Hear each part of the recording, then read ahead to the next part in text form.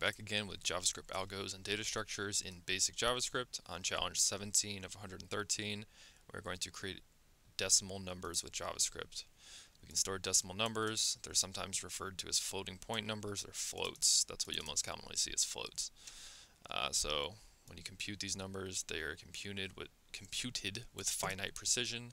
Uh, operations using floats may lead to different results than the desired outcome. If you're getting one of the, these results, open a topic on the forum, essentially. So we're going to create a variable called my_decimal, and we're going to give it the decimal value with a fractional part. Example 5.7. So my_decimal should be a number, should have a decimal point. So below the sign, okay, so we're going to create one we can say const. We can use const, we can use let.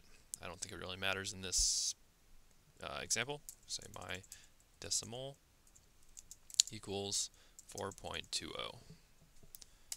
Let's see if that works. And that's it. That's all we had to do for this one. Um, it is not a integer, just a standard integer because it has the decimal points. But really, I'm pretty sure we could we could say let in this case too. It would. So yeah, no problem. It's an easy one. Uh, on to the next.